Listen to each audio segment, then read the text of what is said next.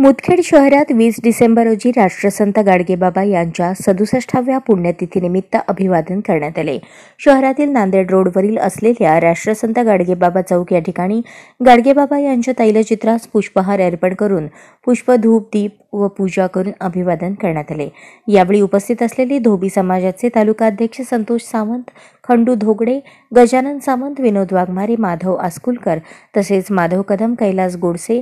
Govind Gopanpalle Kanoba Bismille Nagorao Chilwantwar doctor Shirphule Pappu Sontakke Kailas Chandre Rahul Chaudante Mohammad Buran Ramesh Bodke Devidas Bondle Santosh Gade Rishikesh Parvekar Mujeeb Pathan Pintu Chilwantkar Gajanan Kamle Jay Rajwadikar Amol Abadar Lav Patil Gandras यांच्यासह विविध पक्षातील पदाधिकारी सामाजिक कार्यकर्ते पत्रकार बांधव व धोबी समाजातील युवकांची उपस्थिती होती